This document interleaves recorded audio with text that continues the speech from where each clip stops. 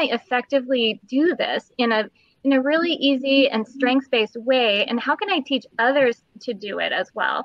So one thing that I have done in my clinic is borrowed upon the wisdom of all of you in this room and some others, and I've made um, uh, I've made kind of a it's it's based off of 5210 which is our healthy habits discussion but this is called cc123 and this is talking about um, parenting during adversity and and um, resilience so the first C is like connections, right? You guys all know how good it feels. Like even just being in this room with all of you, I feel so connected. It's really like jazzing me up.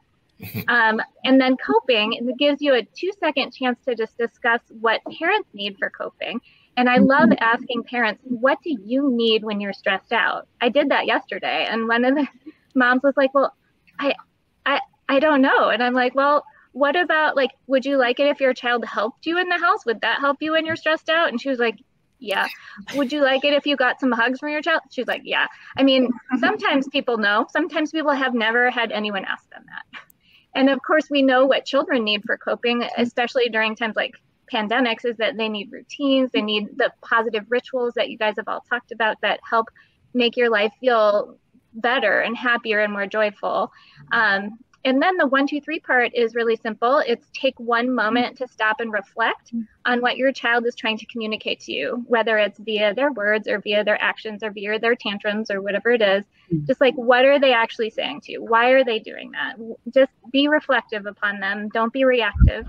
And then the two is two eyes for seeing and two arms for holding. Like we need to mm-hmm. feel seen and acknowledged and uh, we need that attunement and then we need the physical affection often not everyone and i'm sure our child abuse experts in the room can tell you that some people don't really enjoy that but but those who do really need it and it's okay to ask for that and that goes for parents i ask for it and then three um, i ask the families to be reflective and say what are three ways you can show your other loved one that you love them? What are three ways that you can do it? And sometimes if the kid's old enough, I'll ask them and then I'll ask the parent and then we just get into the conversation of like how do we be there for each other during times of stress? And it's just an easy way for any pediatrician or family practice or whoever to acknowledge that life is full of stress whether it's you know super adverse like you know deaths and mental health illness and whatever or just like the everyday stress that we experience.